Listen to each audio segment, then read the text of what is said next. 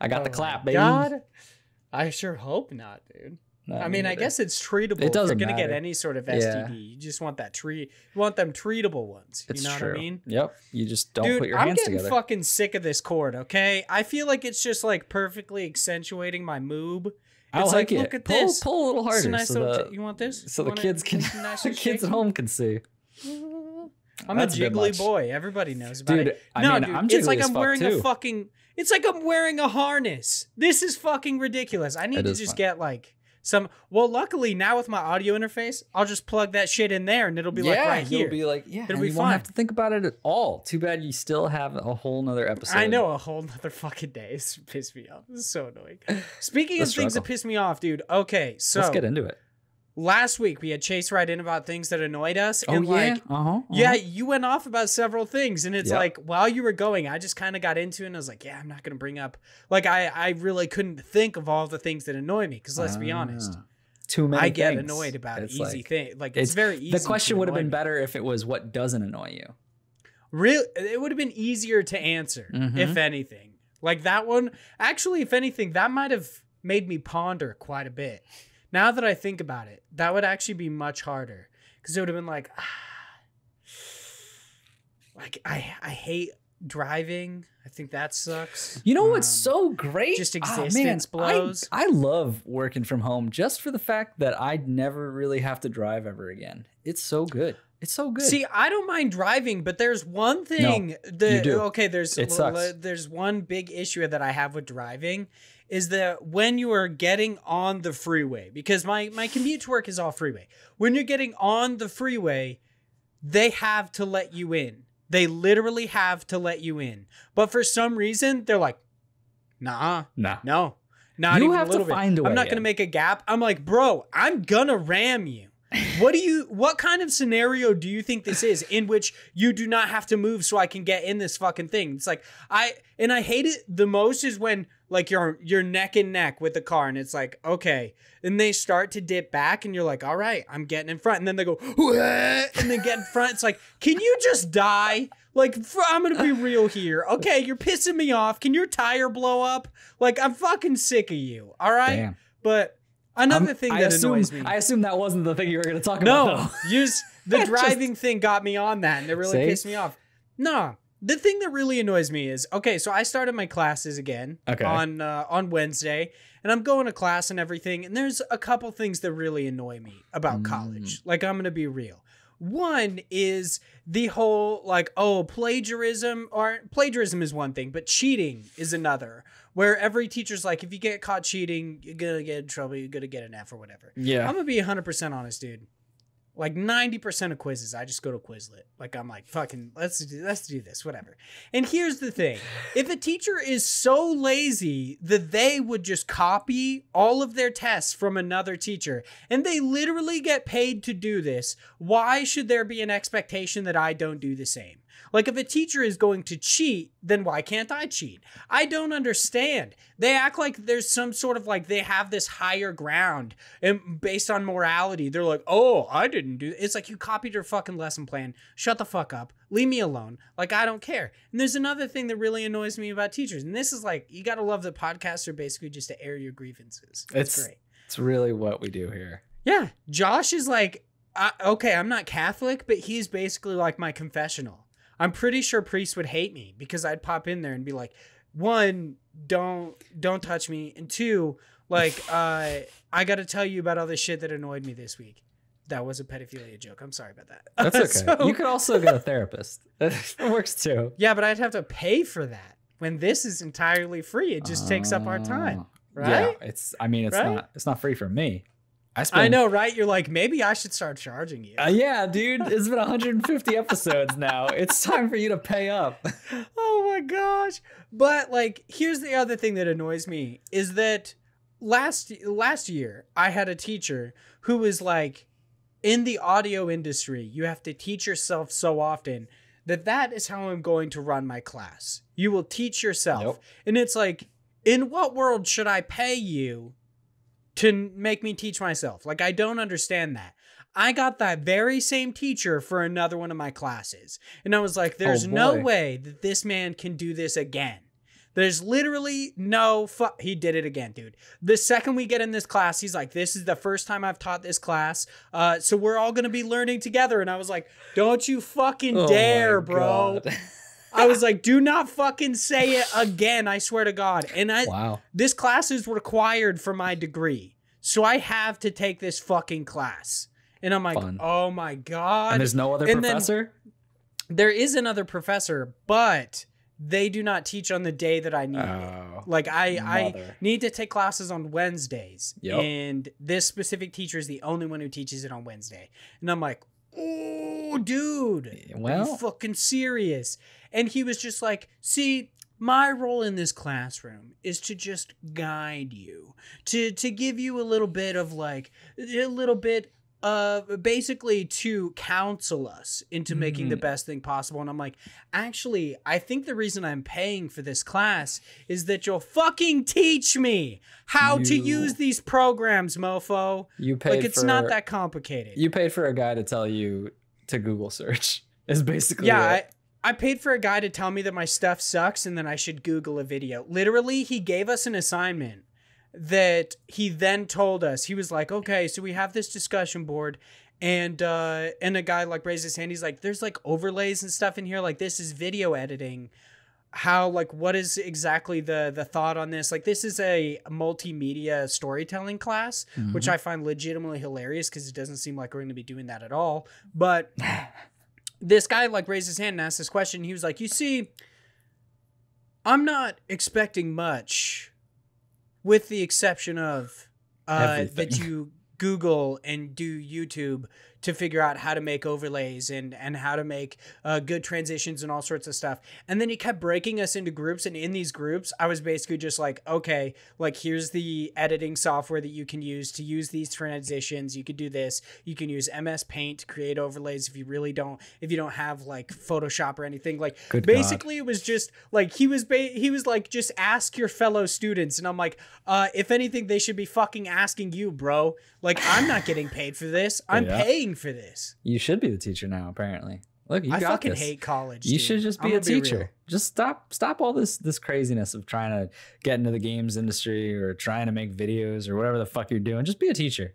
And just nah the second they see my jerking it to jigsaw thing they'd be like nah nah I don't know. I actually included that clip in the video that I did for that class. I'm Oh, not that's even good. joking. Good. that way they'll know. They'll be like, this guy There's means also- business. He's jerking. Yeah, exactly. Granted, I I took away the audio because I was like, oh, it's just meant to be like a visual aid, but I was like, you can clearly see what I'm doing. Jerk Like, yeah. I'm just like, so, whatever, dude. What's a good way But to yeah, start this episode?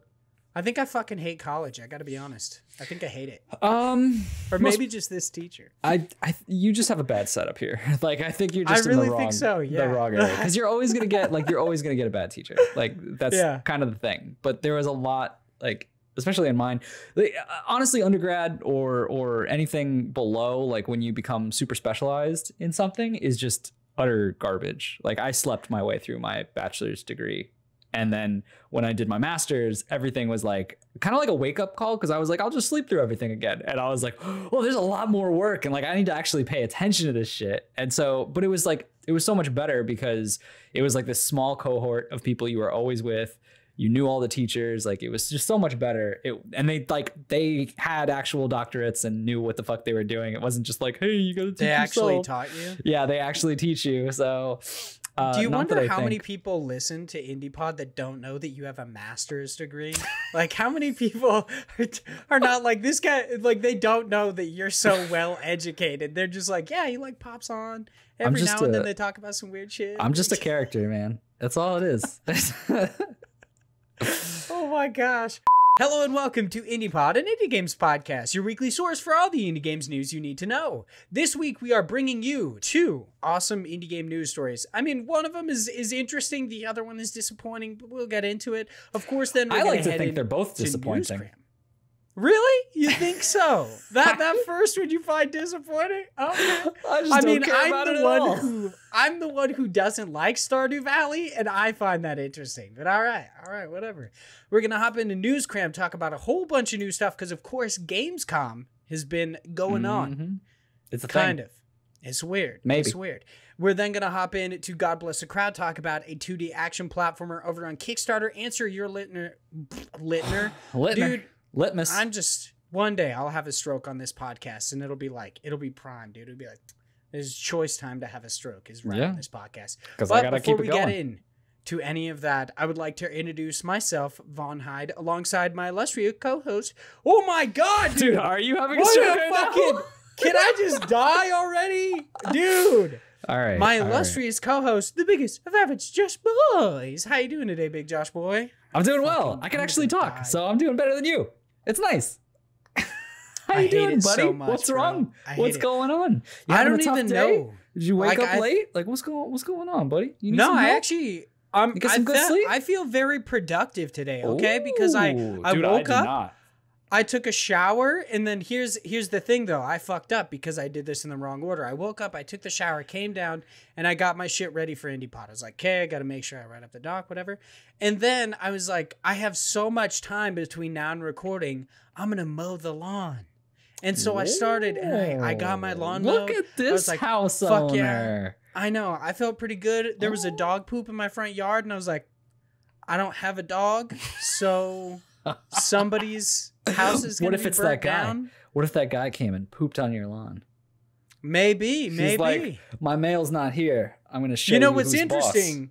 Since you bring that up, my friend over playing D and D the other day, he did say he was gonna poop in my front lawn. I ah. wonder if he did it. Huh? Maybe that's maybe Yeah. that's a boy poop. You Role- know, role playing as a dog. It happens. or maybe it's that that fucking chicken that I see all the time. Have I talked to you about this? I this? have no idea what you're talking about, but Yeah. sure. all the time like i'm 95% sure that i'm having some sort of like the world is ending and i'm seeing a spirit animal because i fucking see this chicken all the time like in the weirdest like it's the same chicken and it just show i don't know whose it is like i'll look out the window chicken i'll drive down the road chicken i'm turning around corners and shit chicken like dude where's this fucking chicken coming from Man. i have no idea I don't know, but this brought me down a, a disgusting rabbit hole of wondering if that could be chicken poop, and I needed to know what chicken Nah. poop looked like. it Don't look definitely it. does not look like yeah It doesn't look like It- it. Yeah, it, it just looks like fucking soup. It looks like clam Yeah, chowder. It's weird. It's, it's real Bird gross. poop looks weird. Yeah, it's gross. It's it's like vomit, but from the beehole. You know. I mean, isn't that what Actually, I don't is? even think they have beeholes. I think they have like cloacas or some shit like that. Like Let's not get into this. Birds are weird. Let's don't- talk about it. So let's get into some housekeeping. This week's developer interview is with. Ooh, you real fucked me on this one, Big Josh boy. I- I think it's Sergio Ronchetti of Fallen Flag Studios talking about their games, their game Eldest Souls.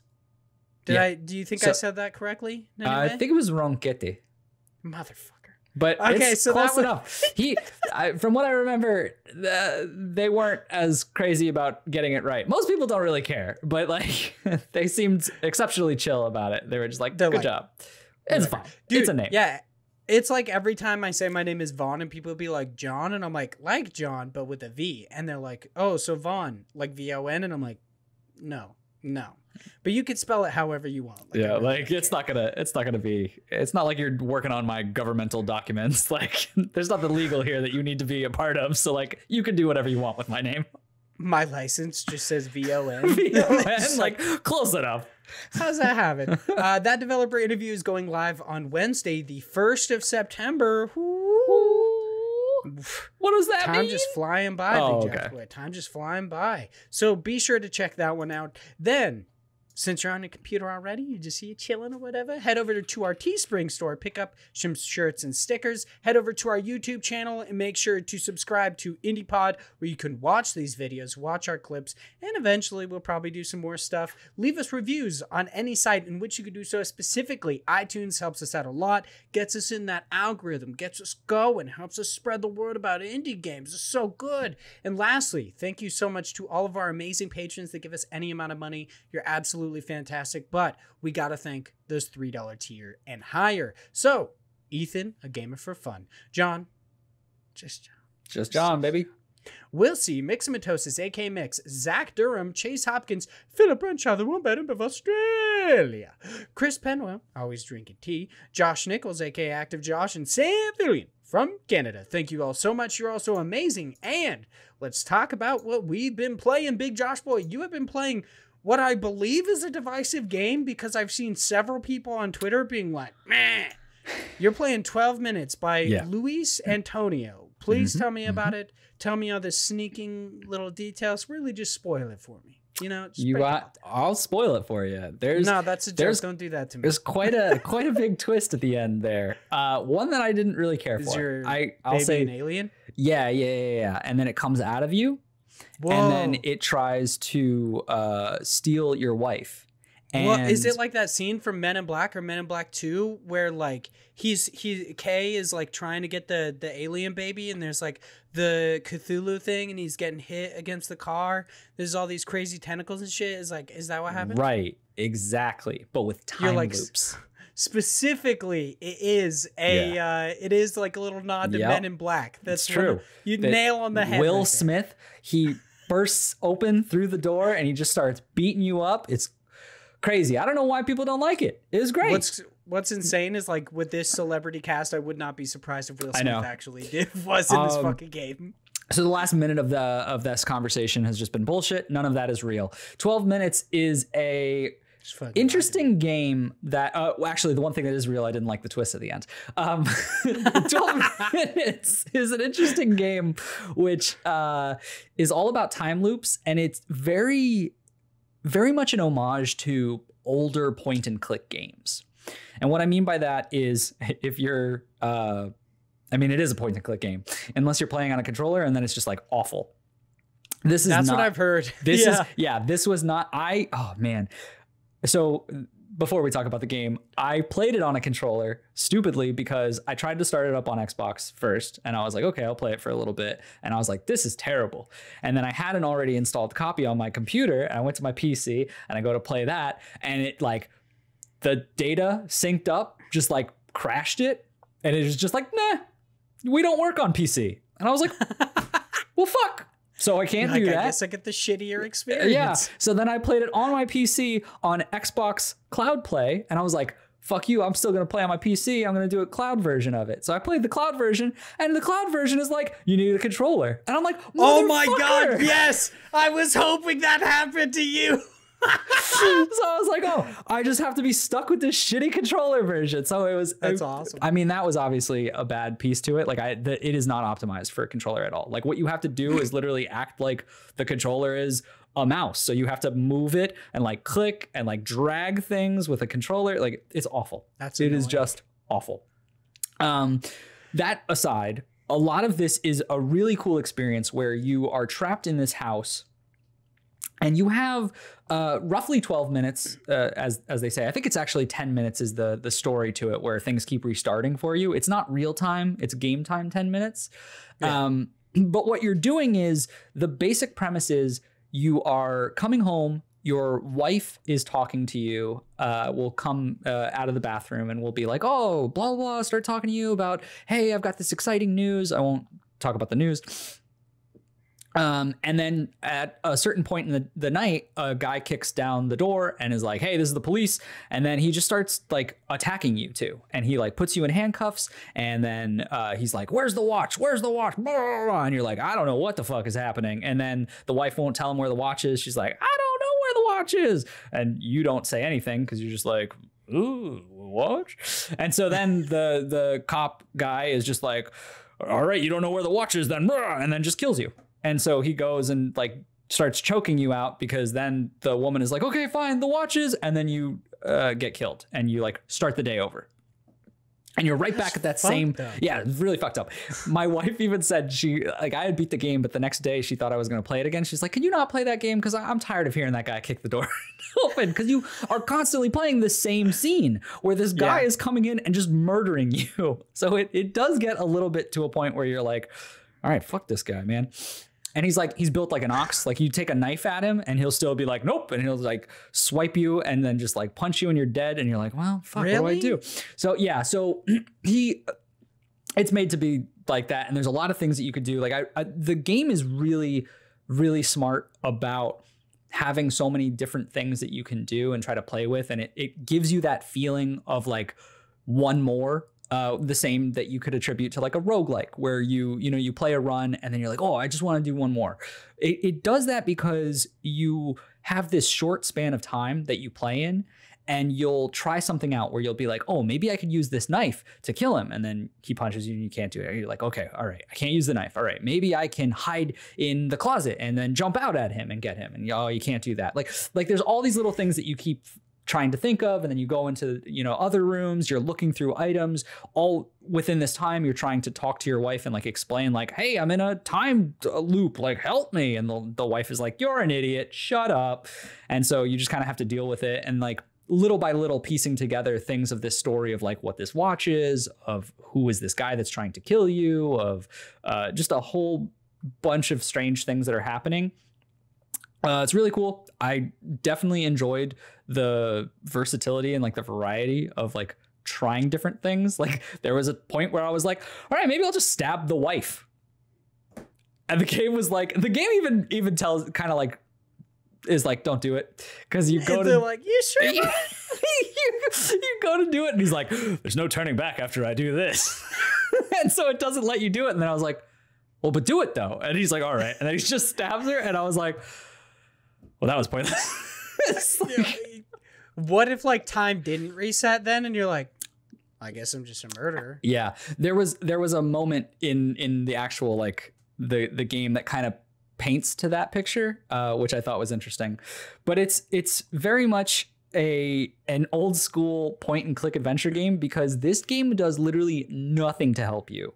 Like there's no hints there's no like pushing you into a direction. The most you get is there's items and if you inspect them he'll sometimes say something like what am i going to do with this? And it'll give you like a little bit of a clue. And then the rest of it is like just put things on top of things and try to fuck with anything that you can until it makes sense. So like it can be if you're not paying attention to something or you just don't think of something, it can be frustrating at times because you're just doing the same thing over and over and over again without any meaningful results. Like, I only looked up a guide once because I just did not understand where to find a certain item. Once I did that, I was able to, but it was like one of those things where I had had enough and I was like, fuck it, I'm just gonna look this up. And then from there, I was able to run through it on my own, but it was just having that, I can understand why some people can get kind of like meh on it.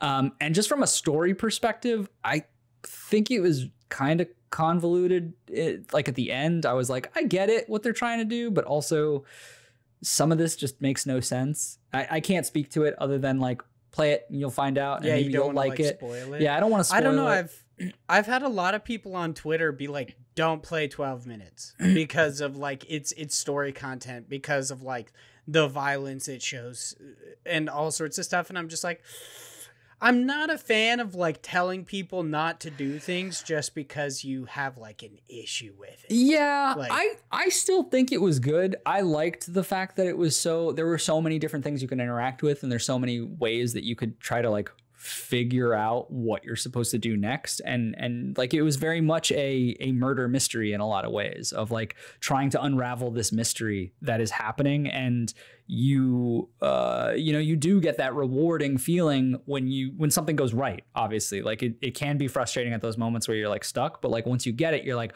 oh okay now i can go into this next rabbit hole or you keep finding little things. Um one of my favorite things is there's a a portion where you get a number for a insurance company. And you can literally there was an article written about this because i even looked it up because i was like i'm not going to spend all my time doing this if it's not worth it. But there's an article where you um you can call the insurance company and it's constantly on ho- you're on hold and it's like it plays elevator music and is like our our representatives are all helping customers. We'll be with you in a moment. And i was like i wonder if anyone ever uh, picks up but they don't. It's just like you can just spend the whole 10 minutes just like on the phone waiting through customer service. Can you barricade yourself in the house?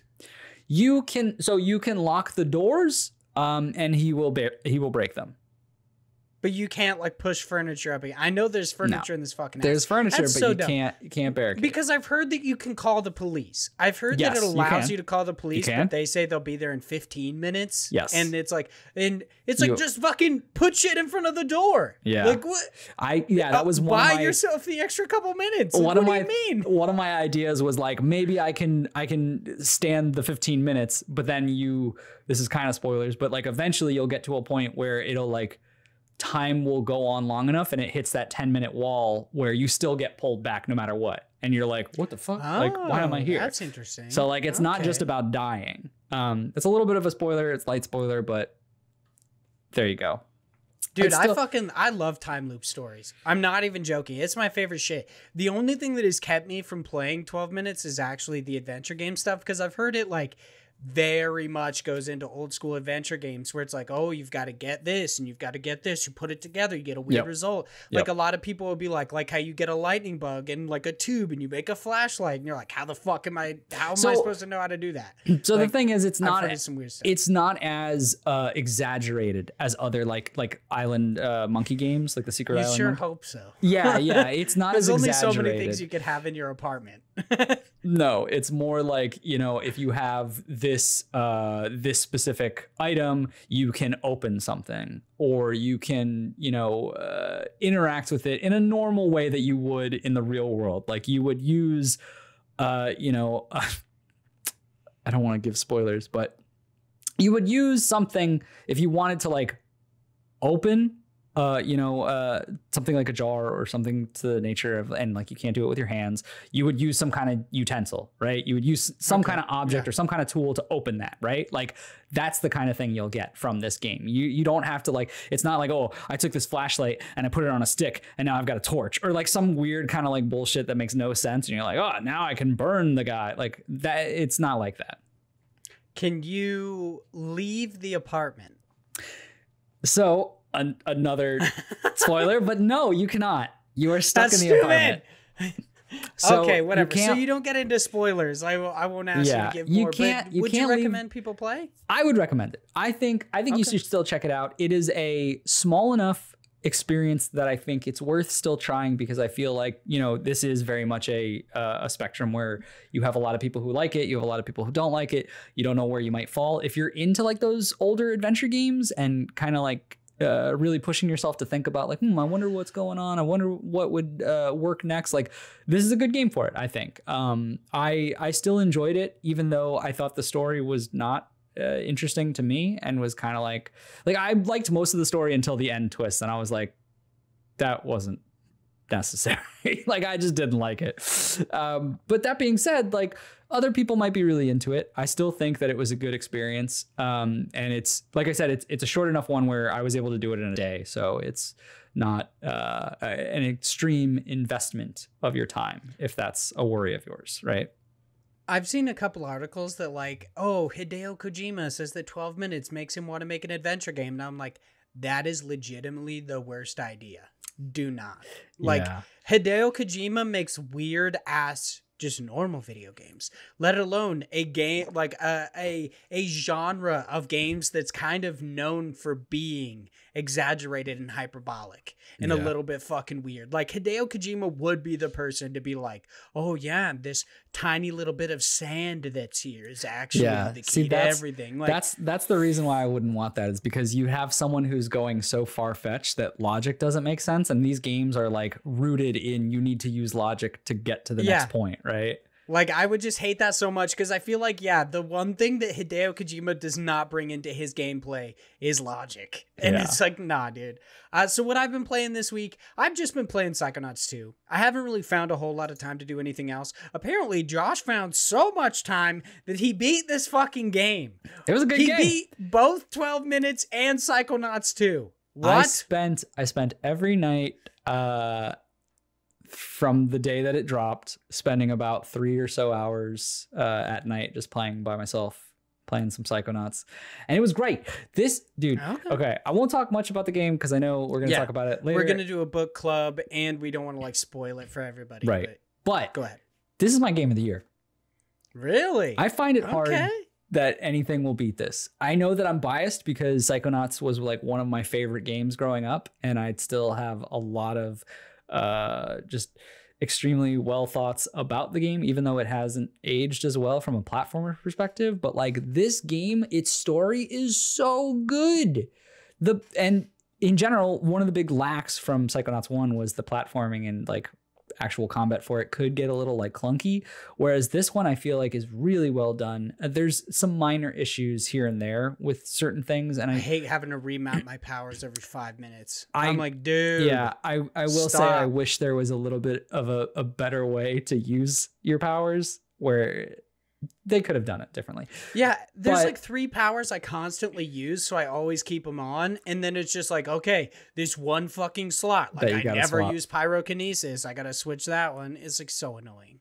Yeah, but the actual like when you're in combat, there's so much more variety from a, a gameplay perspective. Like I think they did uh, this really well. Like I said, I know I'm biased, but I find it hard that something's gonna beat it for me. Okay, all right. So you know what? Everyone has been saying like the nicest stuff about Psychonauts 2, and I loved Psychonauts. I oh, did you ever play Rhombus of Ruin? No, because it, it was a VR thing, right? Yeah, it's, Yeah, it's like a couldn't- PlayStation VR title and just VR in general. Yeah. I find it so odd how often they reference that because like people talk about how it recaps it and I'm like I do not think it adequately recaps Psychonauts and Rhombus of Ruin. Like I don't think it adequately covers those to bring this shit up that much. Like if if they didn't like in every conversation bring up the Rhombus of Ruin, I wouldn't find it so weird. But they Mm. do all the time. Hmm. And I'm like, bro, how many people do you think played this obscure PSVR title? I mean, I think that's why many. they're doing it, right? They're like Rhombus Well, of Ruin, think Rhombus so. of Ruin. I yeah, you'd think like maybe it would be to get people to like pick it up or play or whatever, but having an additional peripheral to do that, like it's a big buy-in Yeah, to play this sure. game. So you'd think like I I get kind of skimming over the first game. It's like whatever. That one is a little bit easier to skim over. You don't really have to get into like the fucking cuttlefish, like getting into his brain and being Godzilla, being a kaiju. Like you don't need to get into that.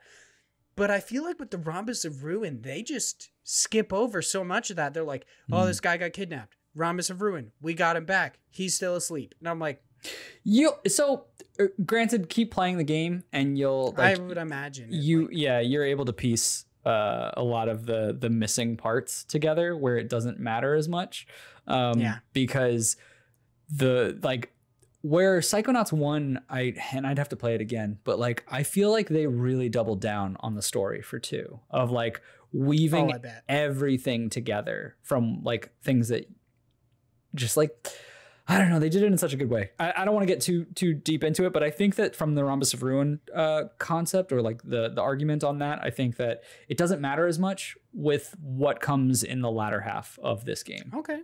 All right. Okay. Yeah, I mean, I'm I'm not very far into this game. Another I guess like issue I have is how often this game talks to you like you're a toddler and I find it legitimately hilarious that it's like a child's cartoon and it's specifically with Lili. The character of Lili, how often she's just like Raz, maybe you should burn these portraits. Maybe it will show you something. And I'm like, there there's a Bro, lot. are you fucking serious? Like, I get like in that portion, it's like a tutorial, and I was like, oh, okay, whatever. Maybe it'll, maybe it doesn't happen. And then later on, the same thing happened. I'm like, Like, can I- you stop? I get And uh, yeah, I've had several people bring up like how amazing the performances are, and I'm like, you're really just gonna ignore that? Like, it's not good. It's it's really annoying. Like, I actually despise that. And there's a, a time in which like, not really a spoiler, but when you're on your first mission, there is like when everybody kind of comes together and you're like, all right, there's a point at which a person says, Hey Raz, remember when I taught you how to grind? And I was like, I've never had a fucking conversation with you before.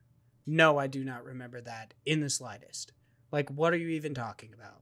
You were not present for the first game. I met you literally like 30 minutes ago.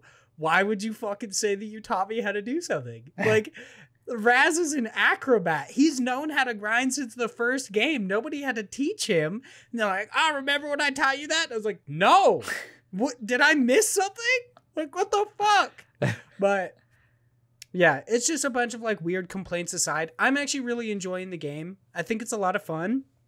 Uh but yeah, I'm I can see there's like two twists that I can already see coming. That I'm just like, I I already know what you're gonna do, dude. Like you just uh you will t- don't want to get too into it. I'll talk to you after the show or Mhm. whatever. But For sure. let's get into our first news story then, since we've already covered our uh, games we've been playing. Our first news story is over on IGN. This one's written by Jared Moore, and it is Stardew Valley is officially an esports. An Woo! esport now, I Es- guess is what it actually esport. says. Esport. I just said esports, but that doesn't make any sense. So whatever. multiple sports. Eric Barone, the creator of Stardew Valley, has officially announced the Stardew Valley Cup, meaning that the famed relaxing farming simulator has now become an esport. The Stardew Valley Cup will pit four teams against each other Sandy's Candies, Pierre's, maybe? P- Pierre's Cherries? I don't know. what that is. Maybe this is supposed to be Sure. whatever. Pam's Yams and Corbus's Crocuses. What? What? The four teams will compete against one another in the cup on September 4th, where they will compete uh, complete a range of tasks to earn points and a shot at almost $40,000. It's a good chunk of cash. Damn. Yeah, that shit's crazy. The competition is being run in coordination with uh, Unsurpassable Z, a YouTuber known for creating content about the game. In a video on YouTube, Unsurpassable Z explained that they had come up with a list of 100 different challenges that the team will have to compete in the cup or have to complete in the cup. Each completed challenge is worth a varying number of points, with Unsurpassable Z has calculated and assigned it based upon the difficulty. Each of the teams, ba- basically, there's like they have a certain amount of time that they have to do this within this tournament. Um, they all know about the challenges beforehand, with the exception of, I believe, 5 different ones that are actually being kept a secret so that they can strategize beforehand, which I think is cool. They have a couple of different things. So, like the challenges uh, range from completing tasks in the community center to reaching floor 100 in the Skull Cavern. So, there's like a bunch of different stuff that you have to do. Big Josh Boy, you earlier didn't seem interested in this at all. How do you feel about it now that I've uh, talked about it a bit more? Hmm? Um, well, here's the thing. I think it's cool. I love this idea. I love the idea of bringing this community. I really think it's uh, a large prize pool, which that's exciting, especially for Yeah. those teams. I just don't care about Stardew Valley. Like, and that's not to say this is a bad thing, right? Like, I love the idea of this. I love uh, possibly other games doing this kind of thing, but I just would have no interest in watching this. But I mean, granted, maybe maybe I'm wrong. Like maybe I'll I'll give it a go and see people competing because maybe it's different. Like, you know, when we I think we had like a very similar conversation when Stardew Valley was in the talks of uh like a, I think it was a GDQ, a games done quick, where people were speed running it, and we were like, you can do that, like very confused. And I feel like this is very much the same type of tone where it's like, I think it's awesome that people figured out a way to do this, but you know, good jelly, not my jam. yeah, I think it is kind of interesting that it is this like crazy tournament for a game that you wouldn't think would be competitive. I think Right. that's that's really really cool. Um, a couple of things that uh, like. I, has it does it say in here how long the tournament was? I initially thought it was meant to be like a week, um, but then it says unknown tasks across the coming weeks. So I I don't really know exactly how long this tournament is is supposed to be. um. But in any sense, I think this is really cool. I, I think it's like a great way to reward a community for like really, I guess, uh, like being stalwart and giving a shit about your game enough to the point where like they know enough about this game to be competitive. right. I think sure. that's really cool. Like I think that's awesome. Uh, I wonder granted, how. I wonder I how these people were chosen. Like, how were these people, these teams chosen? Like, that's what I think is Yeah. interesting. Is like, who gets to be like, like it's really cool that people are competing for the forty grand, but like, why are these four teams the ones competing? Yeah, like was there a bracket? Like did they have to succeed in regionals before they went to like this tournament? Like how exactly did this all work? That's that's a very good point, especially because like 40,000 bucks is a big deal. It is a Like, big deal. I could, oof. I could use that. Maybe I'll get in the Stardew Valley. I'll start. mm, Yeah. I could, I could use forty grand. game, dude. Maybe good, Uh, good game.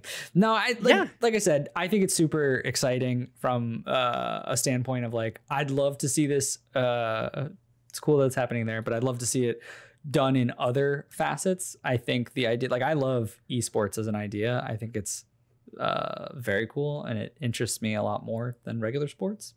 Just me personally. Um, but why not? I mean, if you're really dedicated to uh, a game and you want to build a community around it, like this is the kind of awesome things that people can do to keep Stardew Valley alive. I know that there's no time, uh, no point in time that this is going to die uh, as far as like anytime soon. But like this, Especially because it keeps being updated. because it keeps being updated. But like this also brings that longevity to the game without even giving updates. It's just it's still in talks of like people just being like, you know, this thing's an esport. Like what? That's crazy. Yeah, and that might get more people into it. They're like, "Oh shit, I like Stardew Valley. Maybe I'll like compete." Like if this becomes an annual thing, that would be really cool. Mm-hmm. right for sure. To, to see how this goes. And I wonder like if they're going to televise it in any way. Obviously, I'm not talking about like the small screen. I'm just talking about like maybe doing streams of people competing in this or just anything to where like to make it I guess a real esports experience where you can actually kind of like you can watch and Well, you can be part of it. I would I be really know. that would be such a missed opportunity if they did not do that. Like I think it would make Yeah. sense for it to be a couple of uh, commentators. You would have the four panel screen that shows each team and what they're doing at any given moment. And then if they had a real like production team going through this, they would have like a live stream of other people that are actually playing it and be able to like do like side by side shots or or like jump to their picture and whatnot. Like I don't know how how uh, intense this would get, especially since this is the first one, especially since they're just putting like dipping their toes in the water. But like that would be incredibly uh just you would miss out on so much if you were just like we're doing this tournament and just no one gets to see it and then they're just like they won Yeah. Like Yeah, what? to your point, I don't think that this tournament could be something that continues unless you unless you do it. that yeah for sure Yeah. Like you you have to like give people the option to actually watch this if you want it to become a reoccurring thing. Because if you want it to actually be like an esport, one of the largest parts about sports in general, but esports is the viewership. Like people have to be able to watch it. Otherwise, you're just I don't know, fucking what is that game? Like what is this game? You know what I mean? What is this game? I don't know are you a monkey little what soccer, are you doing The people. This is Oh, the little uh, soccer people. you're talking about um oh Foosball, is what it's called. i was like I'm like, what is what this yeah, game? what is this yeah. what, yeah like uh, you know It's like, is that ladles? I got- ladle ladling soup. I got Is broken, uh, broken, you know, fucking wrists. What am I doing here? Like I don't, I don't know No, what you're trying to do. Otherwise, you're basically just like playing pool in a basement or like some dumb shit. Like, if nobody's watching, are you really playing a sport? Like, you know what I mean? Which sounds really Mm. stupid, that but does. whatever. It's uh that tree fall in a It forest. sounds very condescending, but uh, yeah, a little we'll bit. just we'll just move on. I do think I, I do want to end this saying like it is really cool that this is For sure. becoming in any way an esport, becoming a tournament. The fact that anybody can make money is super cool. But like Josh said, it would be a big missed opportunity if they did not televise this.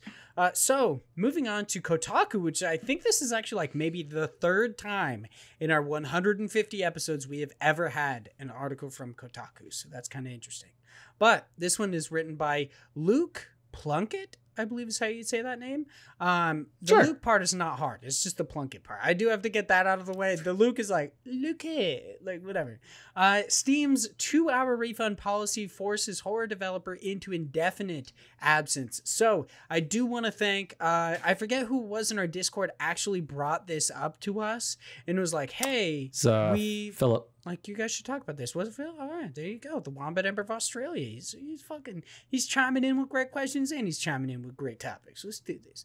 Uh, so Amika Games, the lone developer behind games like recently released Summer of 58, has decided to leave game development for an indefinite time. After two, uh, after Steam's two-hour refund policy resulted in a huge number of returns of their latest title, Summer of '58 released last month and has been well reviewed on Steam, with an overall very positive rating and loads of fans leaving nice comments, giving uh, practical praise.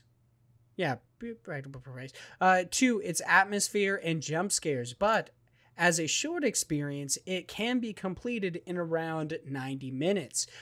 that's uh, that's left the game vulnerable to Steam's blanket two-hour re- refund policy. The policy which lets any Steam user get a full refund on a game if they've played it for less than two hours means well, and if you were only nine, 90 minutes into like basically longer games like Assassin's Creed Valhalla and Crusader Kings, it wouldn't really mean anything. So I just want to kind of like go through this because this is not the first indie developer who has Nope. actually had an issue with this. They say uh, when before your eyes ran into the same situation. So this is like smaller experiences have had this happen in the past. Specifically, uh, Amika Games went to Twitter to, I believe Twitter, to uh, put out this little bit of a press release, I guess. They say, Friends, thank you for your support. I'm leaving game development for an indefinite time to collect my thoughts. The fact is that my game, Summer of 58, does not reach two hours of playtime by Steam standards. In this regard, a huge number of returns on the game, even with positive reviews, and I do not earn anything to create a new game. Thank you very. Yeah, yeah. They they didn't earn anything. Um, I am very glad that you like my games, but since I have no conditions to do something out something new, I have to do something else. I will immediately answer. Yeah, immediately answer anyone who asks about. I'm assuming their their upcoming game, but they don't have any plans to continue it in the future because they don't have any funds to continue it. Right. Big Josh boy, how do you feel about this? And and I actually do want to ask you. I guess in a sense, like everybody loves to toss blame, so let's play the blame game. Who do you think is at fault for situations like this? Do you think it's like the Um, the onus falls on Valve and Steam for having this blanket return policy, or do you think it's the players who, in a sense, like take advantage of it? Which I should say, saying take advantage has a negative connotation, but in reality, it just means to use something to its fullest. right. So well, removing the negative connotation there, like who who do you think like? I guess should be a blame. I Yeah, I think- putting think it's hard- But whatever. Right, for sure. I think it's hard to to put blame to like to point fingers at just one entity in this situation. I think it's both are Yeah. wrong, right? I- And I think that's pretty obvious from like the the people who are doing this. Obviously, should should not be doing that. Like I get if you don't like a game, but I think it is pretty messed up if you're like I enjoyed that experience. That was really good. I want my money back. It's like for what? What are you doing? And like I get it that like you know some people are uh you know a little Money's bit strapped tight. for cash, right? Right? Yeah. But then like maybe have some empathy for the people who are doing this and also might be in the same situation and being strapped for cash. Like um and and there are things like this game is on sale right now and it's only like seven bucks which really isn't a lot granted you know you could say like oh well seven bucks for only like less than two hours of content and it's like well you go to a movie and it's like a lot more than that so like i don't think that's a good argument. And then if you take it from the steam perspective you say oh well they should fix this. And it's like okay well like let's really sit down about this and, and think this out. Because it's hard especially in the day and age that we're in where you can't really equate an indie game to one specific thing like there's like when people it's we've talked about this. When people describe an indie game everyone has a different opinion on what it means because it has blown up into this thing where an indie game can mean uh senua hell's sacrifice and it can also mean a game like minute. And you're like those two are wildly different. Like they're Yeah. it's so hard to compare those two but you can and you can put them in the same bucket as an indie game. Um, and when you get to that point, you then get into a struggle of like that two hour window is uh, an issue. Um, and, and but at the same time, it's hard to just justify like, oh, well, this is what we do. We have a different rule for indie games because it's like, well, that doesn't. You still have the same issue. You still I should say I, I don't think that the the issue should be fixed by like doing it on indie games. I honestly think like my, my solution to this problem would be that developers when they post their game on Steam, they have to list an average play time, like how much That's how long it takes to play your game, and then Steam bases it on that. So if your game is only 90 minutes, you have 30 minutes of playtime or whatever. Like right. it basically just a certain amount of time within that. So like you can get through 10% of the game, 20% of the game, and then because I feel like that's a good amount of like that that's a good amount of time to like see if you're into a game. Yep. And sure. that would I guess the same thing would apply to these large games, but then at the same amount of time, like you'd be like, okay, my game is 90 hours. That means that somebody could probably like, if you went the 10 or 20% rounds, like they could play for fucking like, uh, they could play for like Right. 10 hours Yeah. and be like, I'm Well, what you would So- what you would do is like you would say ten percent of the game up to two hours, right? Like that would be the way Yeah, you build that good way to system. Which I Yeah. I really like that idea because that kind of went into my whole point of like there's an issue between trying to delineate these two different games that could be wildly different if you just say like, oh well, help the indies out. It's like, well, it's not just help Yeah. the indies out. It's like you could still like we don't often see it, but you could have a bigger budget title that is only an hour ex- or you know two hour experience, what what have you. Like we don't often see that, but like that could still exist. Like if they put all of their heart and soul into a smaller project, but just has a bigger budget or has crazy graphics, like the same thing could happen. It, it's not just an indie issue; it's an issue with smaller titles. Um, Yeah. I really like the idea of doing the the twenty percent to or ten to twenty percent or whatever is a, a portion of the game because I think that makes sense because like that is yeah, just basing it on the amount of playtime, Of playtime. the game has. Right. Yeah. Because that is uh, ultimately what I've like, because I've used the return policy before, and it's because I've Same. played a game and hated it and been like, this is not for me, and gotten rid of it because I was like, I I have no interest in this because it doesn't like I thought it was a different game than what it was either advertised or like I just made a mistake. And like I do think that Steam should still have that policy in there. I don't think they should get rid of it completely because I think there is a use case for it, right? There's those use cases where I don't think someone should just be stuck with a game that they have no interest in. But in these cases where like you literally leave a review and say like great game and then go like I think that like that right there should be a piece that is like taken out. Like if you left a positive review for a game, like it seems really weird to be like great game. I really enjoyed it. Give me my money back I want my money back. like that part Yeah. just blows my mind and like i guess an argue, argument could be made that like uh, it's good because at least they're getting positive recognition and like adding to those numbers but like also why should you be able to do that? Like it just seems really strange. I i don't know. I um i think it's kind of kind of a, a weird issue but i think that what you suggested is a great step in the right direction. Like i don't think you're going to change people from finding loopholes in things Yeah. like that's always going to be a thing. That's what people do. People break things. But like having more of a contingency plan it, it's set up where you're saying well here's our average time. Here's a percentage. It's always based on a percentage and it doesn't go over that two hour period. Then you can get away with that. Or adding something to the nature of you know uh, you put a positive review. Although I, I like yours better. Like i think both could be in there but i think yours would make more sense because there's people who could just not leave a review then right? That's another easy way to just get a, away with it.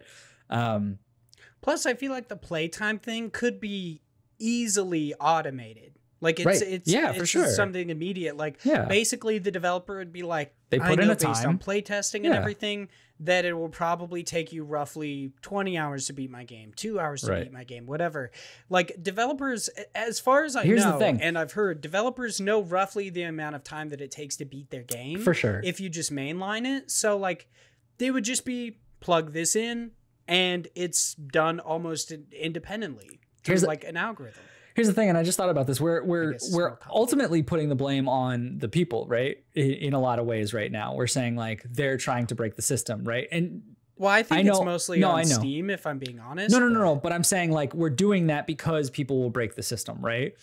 Oh yeah. This could also be like our new idea of like, oh, Steam should do this. Could be uh, taken advantage of from the developer side because now you'll get people who are like, I'm just gonna put 10 minutes and fuck them.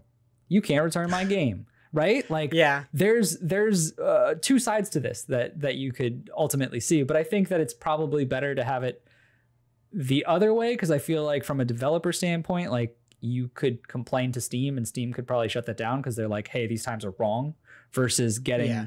involved with other people who are just like yeah they're returning it like there's not much you could do um but i i i, I lost my train of thought but like i I mean, there's always going to be people who take advantage of a system. yeah Like it's it's just how it works, and I'm not even necessarily faulting people for doing so because like we get fucked like as just consumers or as somebody who lives outside of the 1% you're constantly being shit on every day like everything is built to be destroyed everything falls apart basically everything is stacked against everyone. sure, yeah. like in reality that's how it is like the rich get richer the poor kind of just stay stagnant that's Oh. the way the world works right Yeah. now and so i'm not faulting anybody for taking advantage but uh, Yeah. like basically I, I think the the thing is like you just gotta try to make it to where the least amount of people take advantage Yeah. granted For sure.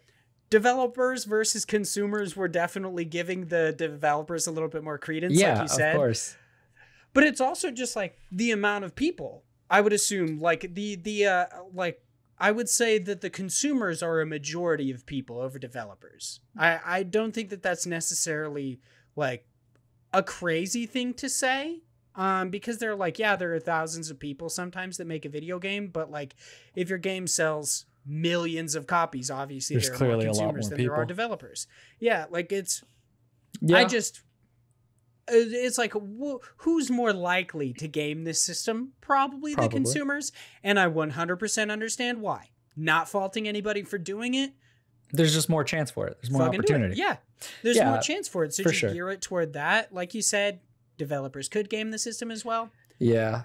Because People I are always going to try it. I just don't want to like I. I really like the the percentage idea because I just really don't want them to do either you know one way or the other of like Steam says like we're not doing shit it's two hours right? Which probably will happen anyway. Oh, Um, yeah, but probably I- just ignore they're it. probably just gonna ignore this. But I don't want to see developers do um the the idea of like adding useless fluff to their game to hit that mark. So you're like Yeah. it's it's a two and a half hour game now so that you're not able to return it. But it's like an hour of that game is just garbage where you, they're just putting something in to make the experience longer which it's like yeah. well that's great but that's not a good experience now it's like bloated right so i just i feel like yeah, there's a lot of ways we lose experiences. with yeah, this longer experiences don't necessarily mean quality. It's it's sure. very possible that like you can have a transcendent experience with a one hour game or like this is the same argument with like novels versus short stories is like a lot of people think that short stories have a little bit less merit in in like the literature community because they aren't long. Like Yeah. it takes like you, you can't really get consumed into something but it doesn't necessarily mean that they are worse in any way. It's just a more liberal use of your your time and words which i think is really interesting. Like you could tell an amazing story in an hour.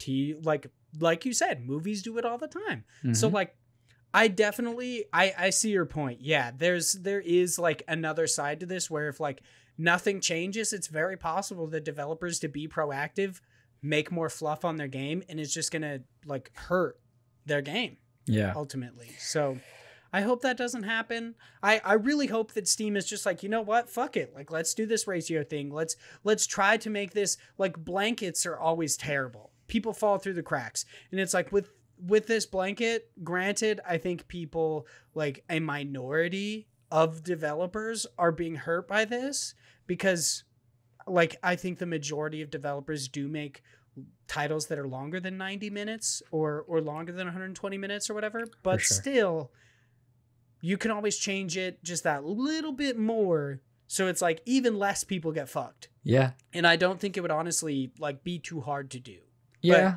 that's me just not understanding exactly how any of this works. Like this is this is all just coming from a point of ignorance where it's like yeah we think it's not hard at all but like i don't know how to fucking code. This could be extremely difficult to do. And like mm, i yeah but you but I- figured out the two hour policy so I i, think, think you can figure this I out I think it's granted. There's obviously work that goes into it, but it's not nothing Yeah. is impossible. Like this could be done, and it Yeah. it- like even from an opposite side of of length, like there's times where there's games where I feel like two hours isn't enough. Like that's kind of like there is some truth to be told with this ratio thing because you have certain games like especially I'm looking at you fucking JRPGs where they're like the first two hours are cutscenes of bullshit you don't care about and you're like well fuck now I can't return this game because I found out three hours in that I hate the combat.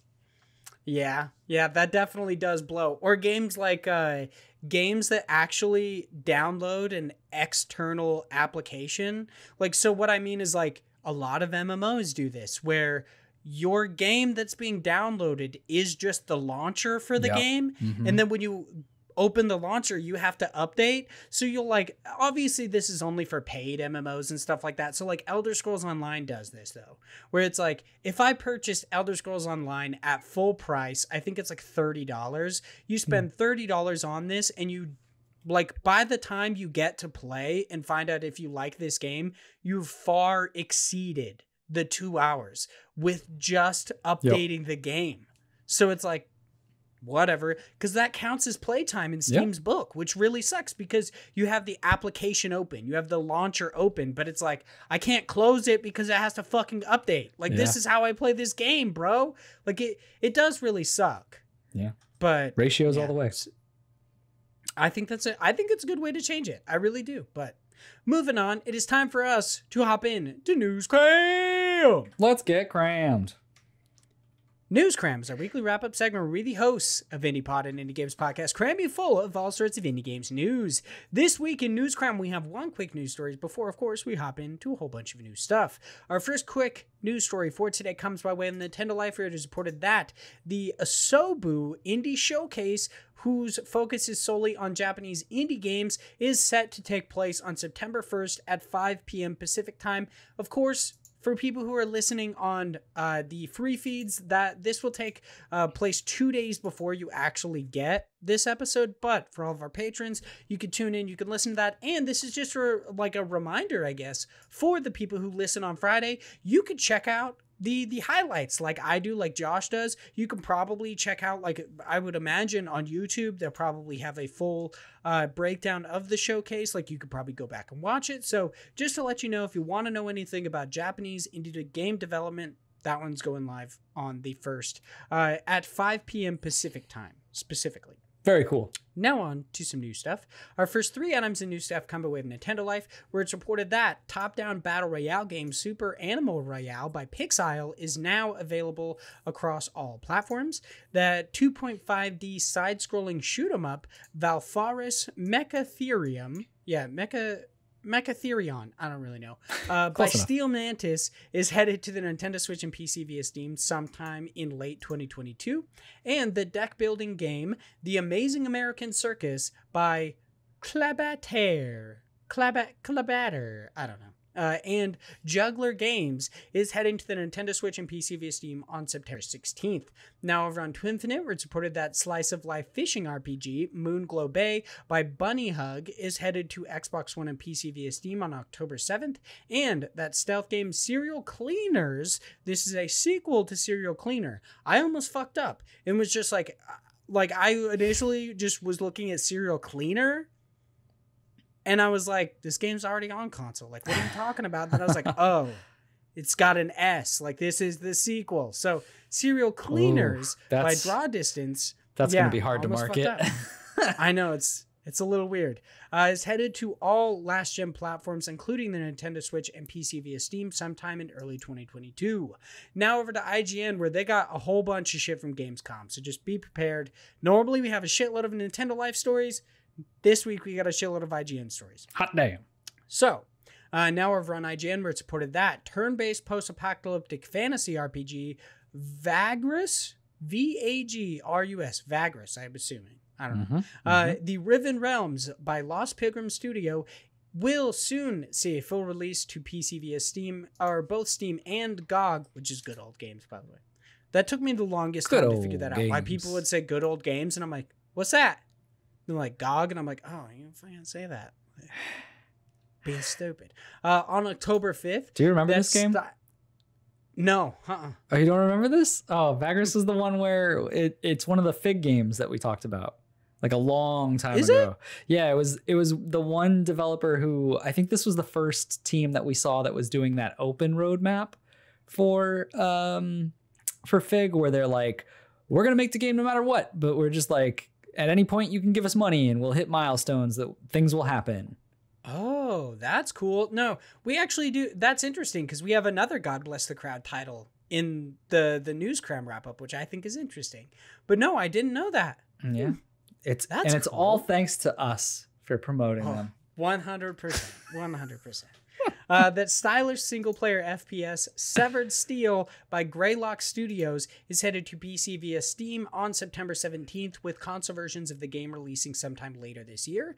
That action RPG Thymesia by Overboard Studio uh, is headed to PC v yeah PC via Steam on December 7th. That party-based RPG The Waylanders by Gato Studio will see its full release on PC via Steam on November 16th. That simulation game Townscaper, yeah, Townscaper. Sorry, that that one for some reason gets me. I'm gonna fuck up your name right here, so I'm so sorry. Uh, by Oskar Stålberg is now available on the Nintendo Switch and PC via Steam. That city builder simulation game, City Block Builder, that one was a hard one. I'm going to be honest. You I had to put simulation game in there because I was like city builder, city block builder. And I was like, that doesn't make sense. So I'm not going to do that. Uh, by Tentworks Interactive is headed to Steam Early Access on September 22nd. That action platformer Blasphemous by the Game Kitchen is getting a new DLC titled Wounds of Eventide sometime in December, as well as a full blown sequel sometime in 2023. That Kung Fu Brawler Sifu by Sloclap is headed to both PlayStations 4 and 5 and PC via the Epic Game Store on February 22nd. That open world survival craft game Valheim by Iron Gate AB is getting a new update titled Hearth and Home on September 16th. I would normally go in and be like, oh, it includes this kind of stuff. We've already talked about this before, but it's mainly focusing on like uh, crafting, house Mhm. building, and stuff like that. So My that one's are pretty interesting. real excited about that. Re- they're still playing Valheim, no, dude? no, no, no, they're not. They're not. They were for Oh, a they're long just gonna, time, like, hop but back they're into it? yeah, like this is gonna Okay. be the when this drops. I'm sure for another two months I'll lose my buddies. Which is funny because like it's just crafting and house building. Like that's what this focuses on. And like to fine tuning some stuff they're gonna hop in just for that stuff. That's awesome. That's fantastic. Uh that dungeon crawler nobody saves the world by drinkbox drinkbox studios So sad. has officially been delayed to q1 2022 So sad. I'm so hyped we- for this game. Feel free to weep big josh I, I I've got will. a shoulder right here. You can cry on it. You can shed those tears. You can you can make me dance in other ways than one. Like let's go, big Josh uh, and that action adventure game, The Gunk by Speaking of Imogen. Form, is headed to Xbox and PC sometime this December. Which I I don't know why, but I find it so annoying when they're just like in December. Like it's like what? Like he's fucking. Oh my god. that feels now- like that'll get pushed. Probably, yeah. I guess I guess I do enjoy this a little bit more when they're like, oh, sometime in December they don't nail down a specific release date, so they don't have to delay it if they don't like if they need a couple extra days or whatever, Right. and they're Mhm. just not hundred percent sure. I guess I enjoy this more than delaying it a couple days or a month or whatever yeah. Whatever. Uh, so we've been blessed with so many amazing indie game news stories that it's time we get back to the creators in our next segment. God bless the crowd. This is where the biggest of average Josh boys hops into all sorts of crowdfunding sites, finds something awesome for us to talk about, and we do just so. This week we're headed over to Kickstarter to talk about a game called Advent Neon. It is a hyperactive 2D action platformer. Uh, it is being developed by Cry, yeah, CryoGX. The developers are looking for Yep. twenty thousand dollars. That is their goal. They currently, at the time of this recording, have thirteen thousand one hundred and sixty-five dollars with two hundred twenty-one backers and twenty-four days left to go. And to get in on the ground floor, you got to pay that fifteen bucks, but you do get a game code and you get your name in the credits, which is pretty awesome. So, uh, secure yourself a copy of the final game at a discount. So seemingly this is probably going to be 20 bucks when the game actually Mm. comes out. That's cool. There I you like go. that they like immediately are just being like, yeah, you actually get this at a discount. That's sweet. So big Josh boy, how do you feel about Advent Neon? I think it looks cool. Um, Eh? this this looks like a really cool retro style game. It looks like a mashup between Sonic and Mega Man in a lot of ways Oh, yeah. because I it's can got the that. speed of the levels that you're going through from a Sonic perspective, but then it has those, you know, you walk through some uh, open doors and you have this like closed box kind of arena to fight people. I like that it's a mix of like one of the big things about Sonic, like I love Sonic, but it is very much a like just run through and be like, I hope I make it. Where there's a Yeah. lot, a lot of just like, you know, if something gets in your way, you kind of just like, let me just try to stupidly jump on top of them. Whereas this has actual combat and you can, you know, play a little bit more into uh, your future as if you'll fail or succeed. Um, I love the the music to it. Feels very, you know, like Sonic and Mega Man, very old school classic. I think it's incredible that this is all done by one person from both a music, art, gameplay, like coding. Uh, it's all one dude who is creating this, which is nuts. a true solo developer. Everyone Yeah. else is like, I'm a solo developer, but I don't make my music or my art or like you're like, bruh. Yeah. Yeah. Yeah. If you look That's at where it says the team question mark, it's just Just one dude? it's just one dude and he says i'm an artist from north carolina responsible for everything you've seen heard and felt so far art music animations programming sound etc so i think it's super awesome. cool that this is a, a legit solo uh, project the person says even in here like what all the funding breakdown is they're very uh, transparent with it they talk about you know how much is going into the backer fee stuff how much is just general processing and taxes and bullshit and then what would be left based on them hitting that actual you know like the minimum tier goal. Um, and they're they're uh, seemingly in the know of how long this will take them roughly from a you know an estimated style, and they talk about kind of what that that money goes to, which is really just living costs to make it to that point, which I think is is interesting of them just breaking it down. Um, I don't know. I think it's I think it's cool. I I love the soundtrack to it. The combat looks um interesting as far as like I, I love the the time stop thing. I feel like that might get kind of complicated. I wonder how that works. Yeah. Like I've seen it happen a couple times and I'm like, is that like a pseudo parry system? Like where if you activate it at the right time, you can do it or not? Because there is like that that part of the trailer where the character's like, oh, too slow. And I'm like, did they parry them? yeah, I it- thought they got hit.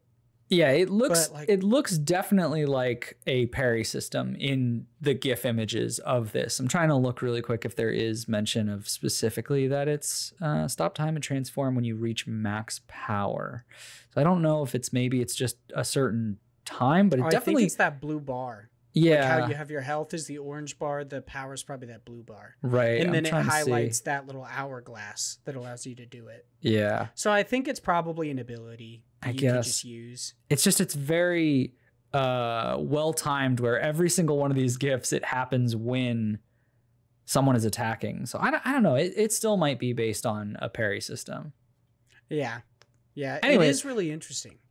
Yeah point is it seems cool it's seems to have uh seven districts which are worlds containing at least 28 levels two bosses per district mini bosses in a majority of the levels uh more accessibility and practice options which i think is like there's a lot of content in this right like it seems like yeah. there's a good amount in here. I think $15 is definitely a reasonable ask.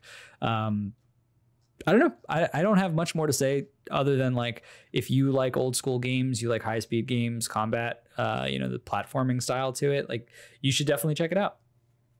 Yeah, I definitely agree with you. Uh, in all honesty, it's not really a game for me, but one thing I really did want to bring up, like I think the game looks cool, just doesn't good jelly not my jam. Yeah, But the one thing I did want to talk about is this fucking crazy demo they have. I feel like this is probably one of the largest demos I've seen. It includes four levels and two bosses, a tutorial, and a training room. Like typically demos go like you get one level, one boss. It's just to get you like roughly acclimated to how the game will feel. I feel like this is a a fairly large slice of the game for this demo. I think Right. that's really cool. Like Yeah. I really enjoy that that just gives you that extra bit of time to really decide and hone in whether you want to like back this or not whether you're looking forward to it i think it's really cool plus it's available on a bunch of different platforms which is awesome you've got it on like steam you've got it on itch or you've got it on game jolt that's really cool uh, the art itself for this game probably the thing i find most interesting i i really do enjoy it and i really like the conversation overlays just Mhm. something that i'm like kind of a nerd about but I think the game looks cool. Granted, definitely not for me. Um, I'm not like I love the aesthetic of Sonic and Mega Man, but I don't. I don't like the games. I'm just They're not both good so at good. games. You're so wrong. yeah, I mean, I I like. I really like what they look like, their stories. I think it's all really cool, but like. I'm just not good enough at games to play them. So I'm not even gonna like fuck with myself. Nah, you could do it. I believe That's in you. Maybe if I like really dedicated a lot of time to it, but I don't think I'd want to.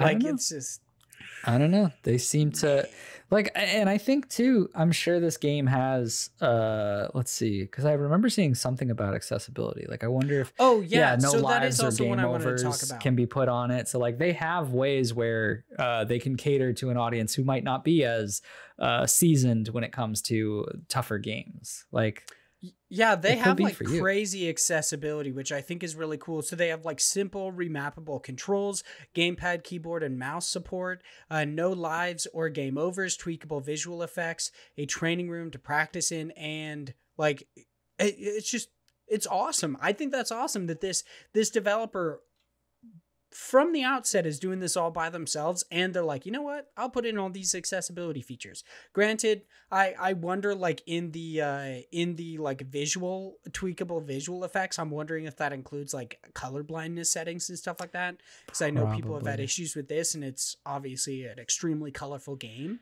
Um but i do think it's really cool. This the game looks awesome just doesn't seem like something that would be for me but big josh boy do you have any last little tidbits you want to talk about before we head into our listener questions Uh, the only thing that I would say is keep in mind if you're interested in this game and you're not used to the practices when it comes to Kickstarter of like how quickly you'll receive this game, their estimated like delivery is 2024. So yeah this is definitely one of those Kickstarter games where if it looks cool, you like it, give them 15 bucks and forget about it.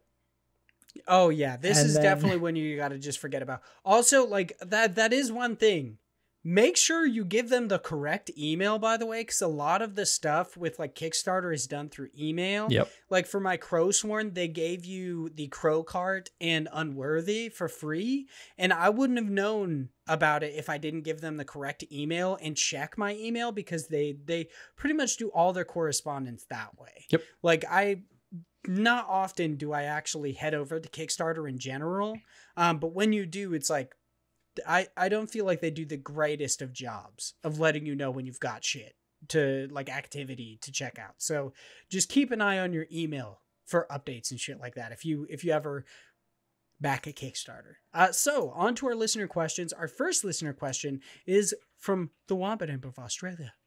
Philip Bradshaw writes in and says, uh, "Did you miss my lack of questions last week, dude? I always miss you. You don't write in a question. I'm like, where's where's it at? Yeah. So Where he, so he wrote like five.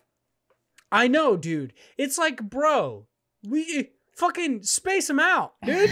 Jesus. I love I love the juxtaposition of you being like, I miss you so much, and then immediately going like, but also fuck you for all these questions. no, it's just so crazy. Like, I guess I probably could have just held some of the questions, but in reality, Phil's probably gonna write in ten more questions next week. Like, For sure. I really wonder if Phil's like when they just go through their daily life, they're just like, "This is a good one." Just like every day they send us a question. I I love you so much, Phil. You're so amazing. Thank you so much for doing so. I love hearing from you over there in Australia. That's what makes book club so fun. Is feeling that hearing that smooth, silk, dulcet Australian tones. voice. Yeah, it's just so nice. Can't wait for that Psychonauts one, dude. yeah. It's gonna be great. Yeah, even John said he would he would uh, do something for that one. Really? Yeah. No way. Yeah. I've yeah, I saw that uh, Just John has been playing some Psychonauts too. He uh he apparently just beat it and he loved it as well. So How do you fuckers have all this time to beat this game? what is happening? I don't know, man. It's because you go to school, you stupid baby. Maybe, yeah. I actually I didn't realize how much of my time school takes up until like I mean, I I- started back in school. I was I- like, fuck. Just recently dipped out of that contract job. Like I finished that, so I have a lot more free time. So it's just Yeah. getting sucked into to games. I I literally I I was like, oh, Psychonauts 2 is coming out. Sorry guys, gotta break this fucking contract. We're done. And that's that's how it works. All right. Uh, Phil also writes in and says, "Do you have a favorite meme template?" Big Josh boy, do you have a favorite meme template? I have a couple. Um, so from like an older perspective, I think my favorite was always Doge.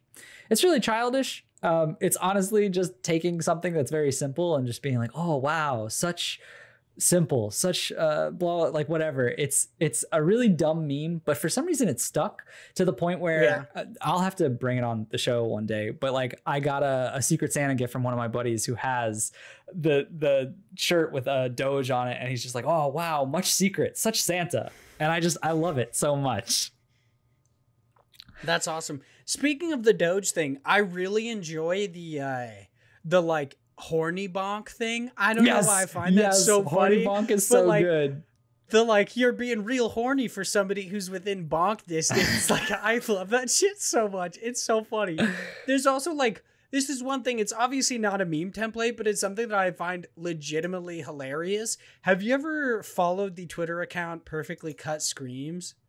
It's like my favorite fucking No. shit. It's literally just like it's a short. They're always short videos, like tops twenty seconds, Mhm. and they just get to the point of somebody screaming and cut right as they scream and it's just so good it's the funniest shit to me i don't know why like i love it so much Interesting. but yeah the the horny bonk thing easily my favorite meme Uh, yeah. i love it so much it's so great or like i mean there's the there's the good old classics like the one does not simply like Yeah, love yeah. I, I think from like a newer perspective, my favorite has definitely been the one where it's like the guy with his girlfriend and he's like looking back and he's like.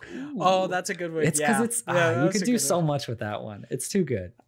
I like that one a lot. Uh, so Phil also writes in and says, seriously, it's like eight questions, not even joking. Uh, is there anything you see that could happen that would make you quit gaming as a hobby? Big Josh boy. Anything that might uh, in the future make you quit gaming as a hobby? Something cuts off my hands. I Oh, like I, that would do it. That would do it for me. You're like I was told when I was a kid, if I masturbated too much, my hands would fall off. So that's pretty much like I'm yeah, that's really looking forward to that day. That's why I don't jerk off to Jigsaw.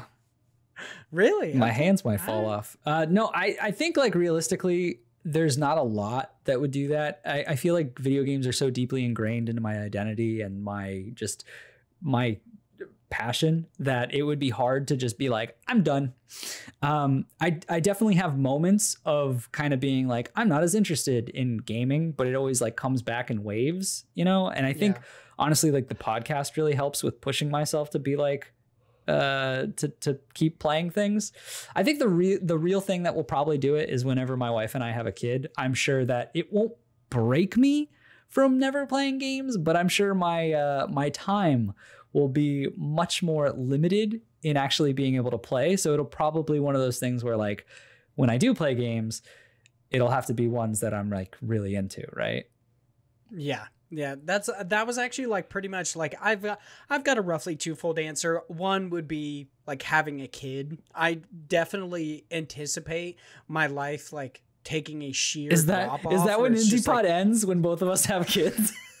like we're done. No, I think we might still find time for it, but I doubt that what we've been playing section will be very populated. it will just oh my like, god, that's how we limit the time to these episodes. How we get shorter episodes. We just stop playing games and have kids. Then you we'll know what I found finally have- legitimately hilarious is that like we are actually having a fairly quick episode this time, but I feel like it's like with questions and shit, it's We're gonna, gonna still- take up the rest of the yeah, time. we'll still have way too long of an episode. I'll, we'll use my famous quote if that's a long episode. Yeah, this, that's that's such a long episode. yeah, I think uh, probably having kids will will cut down, but like straight up quitting, um, I guess like I I feel like in any situation there would always be those times where you have like a little bit of downtime, but I guess, um. I would assume if Morgan was like ever terminally ill, that would probably be one thing. Oh, where this it's got like, I'd dark. probably have to like, yeah, I know, right? Like if if like because that would be the shit that would have to get me uh, to to show you how integral gaming Yeah, is to like our personalities it would literally take my significant other being terminally ill or like if she god forbid actually does have ALS like if any of that kind of stuff ever happened that would be the thing Right, that would sure. cause me to stop playing games but even then i feel like everyone says like being a father, there are like those times you just have to find time to game and stuff like that. Mm.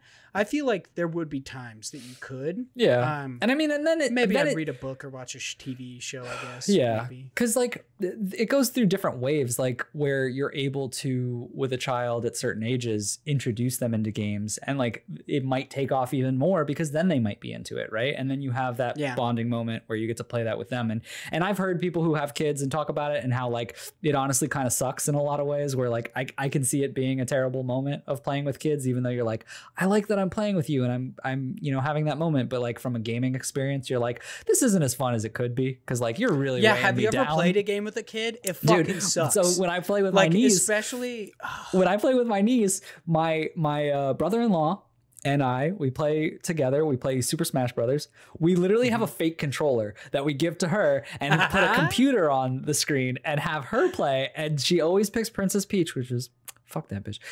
But Princess Peach will play, and she just she's getting to that age though where she's like where she's starting to she's realize starting to that realize it's that not- like she's not- like, I think my Joy-Con has drift. It's not going the way I want it to.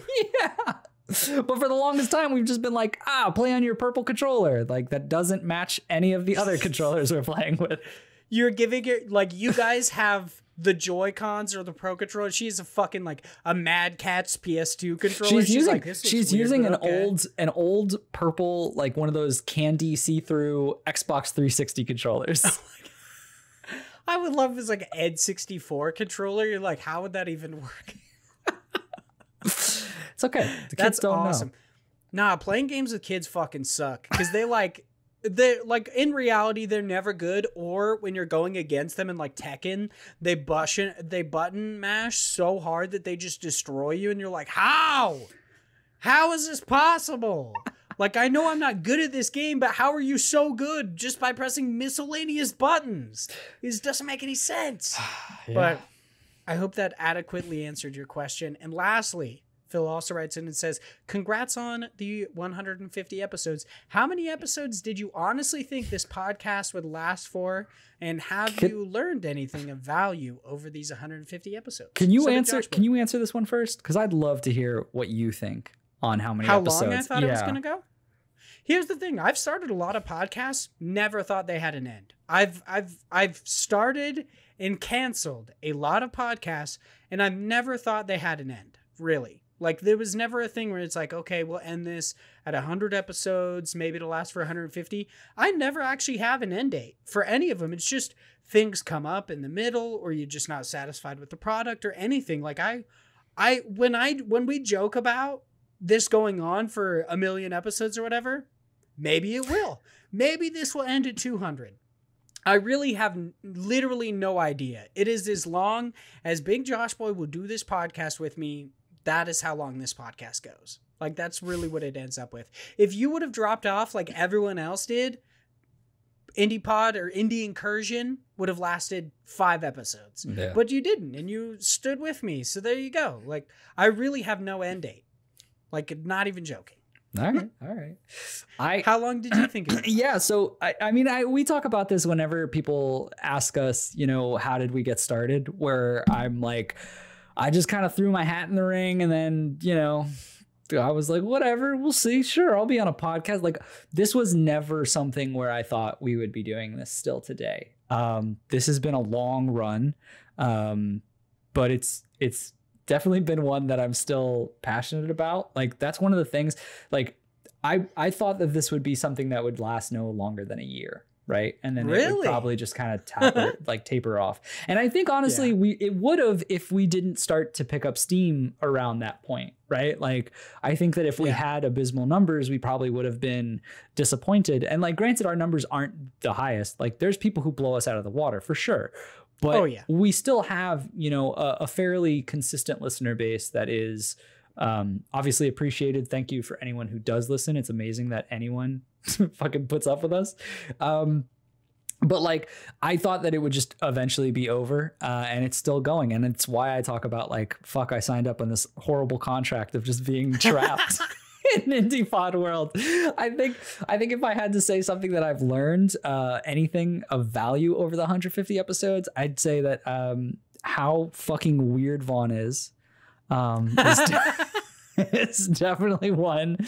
Um, but but uh, for like a real answer, um, I think the one thing that I've learned is honestly just um, a lot about uh, from a perspective of the industry. Like I've learned a lot when it comes to what's happening in the gaming world, and like you know we talk about indie games all the time but really i i had just played a lot of indie games like i didn't know anything about this world i didn't really like look into that and one of the things that i love that this show does is it pushes me to stay on top of things and to be a part of this. And granted, I've I, I still am pretty lax when it comes to like talking or, or being a part of the community, but I still always try to lurk and make sure that I know what's going on in this world. So I think the one thing is really just keeping up with games. Like that's one of my favorite things about this podcast is it pushes me to like still be a part of this world because I do enjoy it, right? Like it otherwise I might just you know, like if we didn't have these, I probably wouldn't look at these news articles. Like I don't actively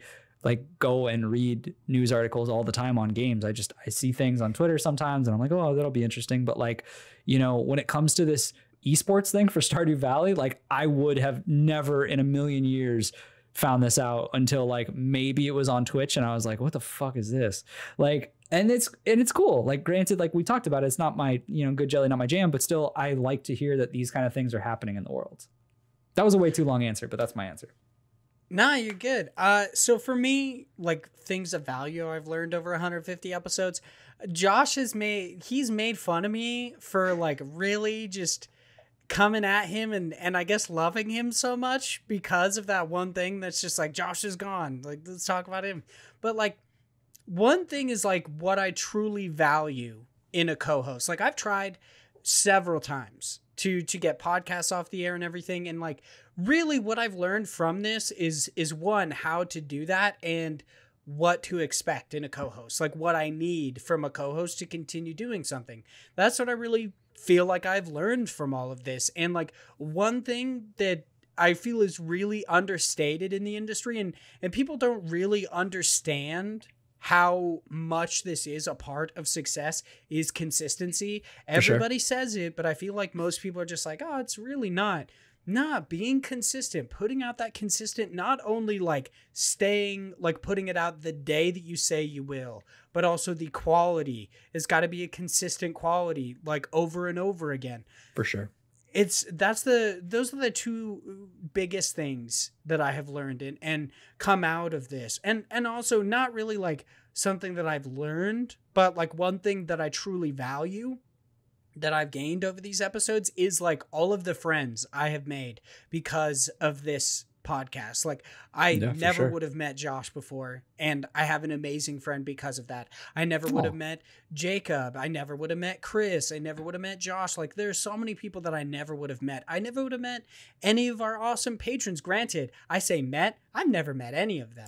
But like I've never But yeah, I never would have spoken to yeah. any of these people. Never never would have known that they existed if for sure this podcast didn't exist. And i'm i'm truly grateful for everything that it's done for me. 150 episodes is a lot. Yeah. It's really a lot. It's kind of like, nuts. Like i i said it on twitter. I was like it blows my mind that this is a thing. That one yeah. it has gone this fast because seemingly it, it feels like just the other day that we really started this. And like and two just the fact that we've kept up with something yeah. for this long. It's kind of spooky like it's it's weird that it's just part of the routine. Like every week, I'm just yep. like, yep, putting stuff together. This is uh, Indie Pod the three. It's yeah, it's it's crazy. I I love doing this so much. It's it's so much fun, and I still don't see an end date. I really don't. So there you go. From from start to finish or start to here, I've really never thought about an end date for this. So there you go. Uh, Dennis, obsessed polygon, aka obsessed polyglot, writes in and asks, now that now that Stardew Valley is becoming an esport, I wanted to ask can you guys think of an activity that is not competitive in and of itself, but that you would excel at if someone were to turn into uh, turn it into a sport. Big Josh Boy, you had something that you thought that I would be good at. I want to know what it was. Uh, it would definitely be binging like movies and shows. Oh, Dude, that's a good one. I would be so good at it. Yeah. like it's spooky. There have been those times where it's just like, oh, uh whatever like netflix is wanting people to watch like a thousand hours of tv or whatever and i'm like this should be my job like Yeah, let's dude. fucking go Every i time should do some weird ass social experiments that's just uh, binging tv shows because i can Yeah. do that shit I know you could. Because every time I feel like there isn't an episode that goes by, although this one was one, but there's not an episode that goes by where you're like, Have you ever seen this movie? And I go, No. And like, like, I don't know why you ask anymore. You're just always, you ever see that one thing? And I'm like, Nope, I don't watch things. Like, I just don't know what you're talking about. Yeah, that is that is a fairly good point. O- outside of that, um, like I really don't know of anything that I would like. I'm good at to the point of like a competitive nature. I, I, guess, dude, both of us, I feel like we could compete for bubble butts. Just saying, like no augmentation. Like no no squats or anything, just that natural, that pure bubble butt. I feel like we could compete. We could. We could. Like, I'm not talking about a twerking contest, by the way, because I feel like twerking is a skill. that's tough. That is- that's tough. That is a skill. You learn that.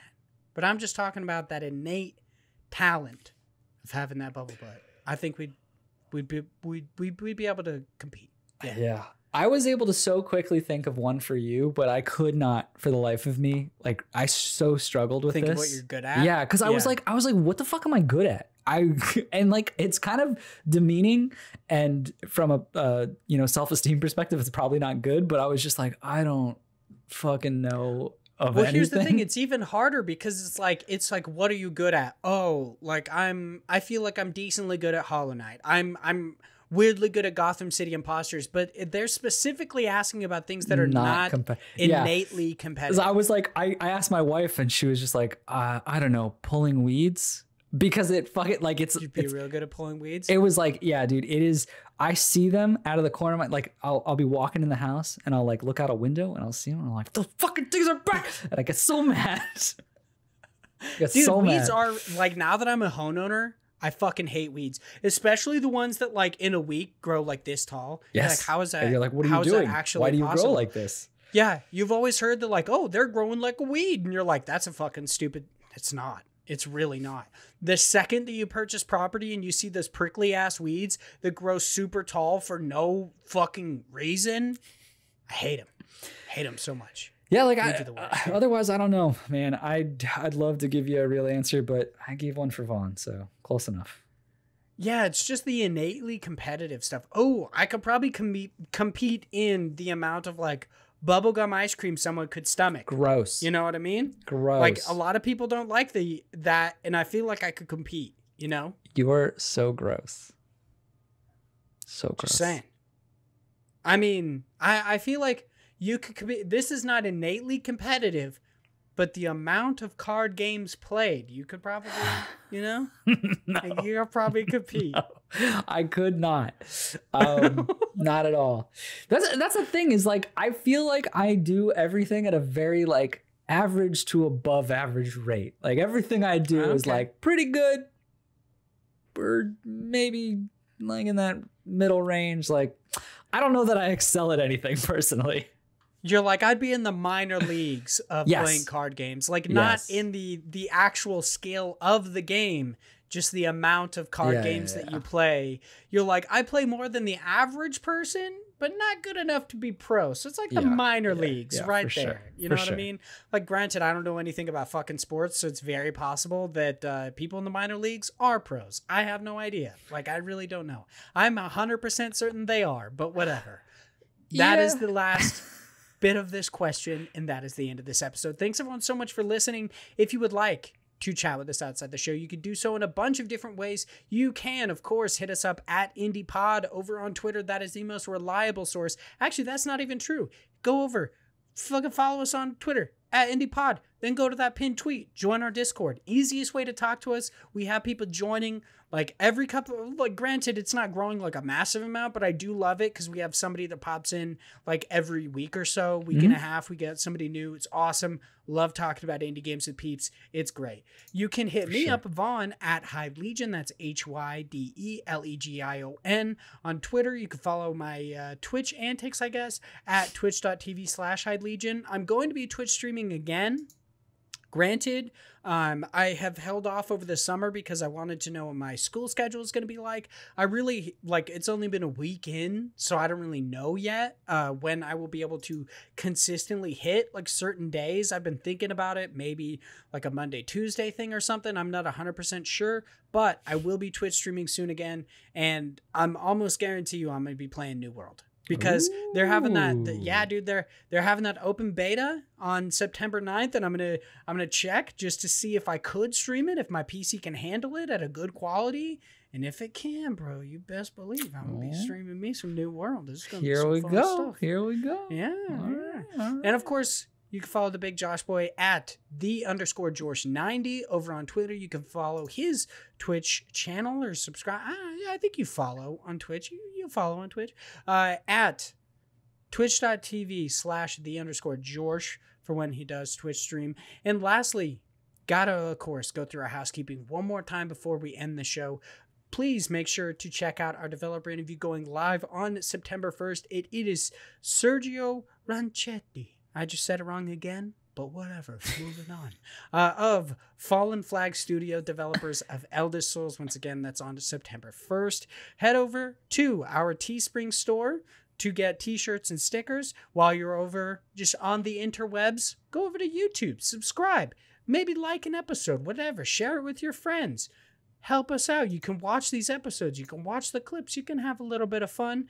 Check out and leave us reviews on any site in which you could do so. Specifically, iTunes helps us out a lot, helps us reach a larger audience and spread the word about indie games. And lastly, thank you so much to any amount of money that we are given by our amazing patrons. But of course, we have to thank the $3 tier and higher. So, Ethan, a gamer for fun. John, it's just John. We'll see Mixomatosis, aka Mix, Zach Durham, Chase Hopkins, Philip Bruncha, the one by Imp of Australia, Chris Penwell, I was drinking tea, Josh Nichols, aka Active Josh, and Sam Fillion from Canada. You're also amazing. Thank you so much. And we will talk to you all next week. Goodbye. Bye.